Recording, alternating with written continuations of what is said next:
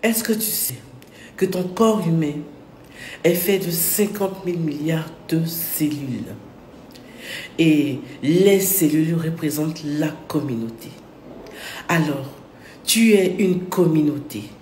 Tu n'es pas un simple corps que tu vois comme ça dans le miroir. Tu es une communauté parce que tu es un ensemble de cellules. Et chaque cellule a un voltage positif comme un voltage négatif.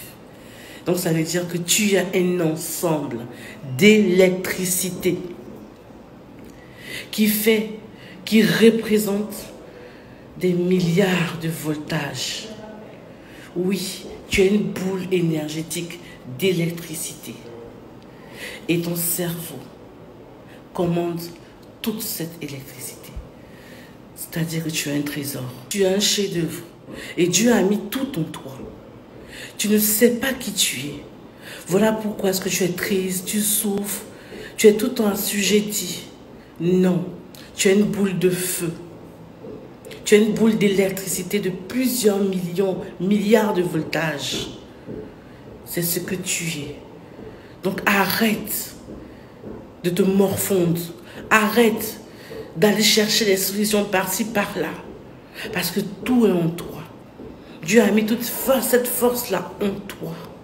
Mais comme tu ne sais pas qui tu es, tu sombres.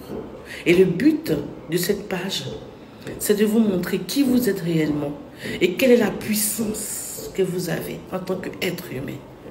Parce qu'à la base, nous sommes des êtres spirituels, mais avec cette forme-là, physique qui est la matière.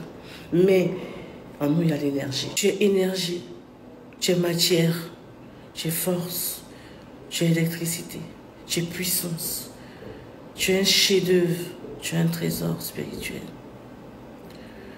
Et apprends à utiliser tes pouvoirs intérieurs que Dieu t'a donnés. Tu ne vas plus chercher à aller voir quelqu'un, aide-moi, aide-moi, parce que tout est en toi. La capacité d'un cerveau humain est tellement forte, mais on l'utilise seulement à 10%. Apprends à savoir qui tu es. Apprends à savoir quels sont tes pouvoirs intérieurs. Et tu verras, Dieu a mis tout en toi. Sois béni.